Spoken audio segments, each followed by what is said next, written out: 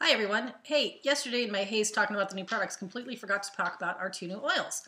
Uh, this is Petitgrain, and Petitgrain um, has a very, almost a floral, but a musky floral scent, um, and it has very similar properties to lavender. So I was thinking, um, you know, for the for guys that don't want to smell like lavender, um, they can use this in that unscented lotion um, and get really great benefits uh, from from this oil.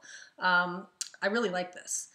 This one, the spikenard, this is from Nepal. I mean, these people hike thousands of feet in the air to go harvest this little root. Um, and it's it's used kind of hand in hand with frankincense. So if you guys are looking for uh, like a smaller bottle of, of, of frankincense type oil, this is your guy right here. And this one, I think it's a little, yeah, it has like a little sweeter musky scent.